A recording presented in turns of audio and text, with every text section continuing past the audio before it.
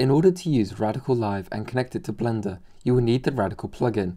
Additionally, you'll also need a retargeting tool. The one I will be demonstrating comes from Expy Kit by pKrime. However, as this is only for retargeting and baking animation, you are free to choose your own if you feel comfortable with an alternative.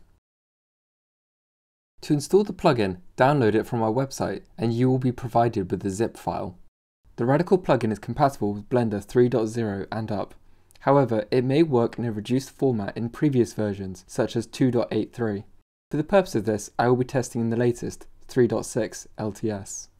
The second plugin which I'll be using, Expy Kit, can be found on pKrime's GitHub account. No GitHub account is required, as you can just download the zip folder which we require.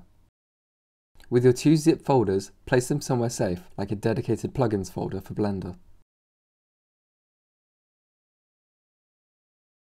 Installation happens within Blender and can be reached from the navbar under Edit, Preferences, Add-ons and press the Install and Add-on button.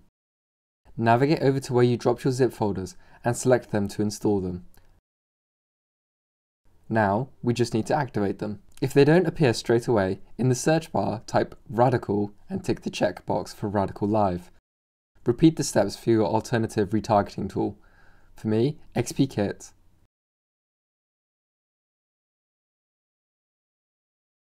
The Radical plugin will be displayed in a sidebar window in the main 3D scene.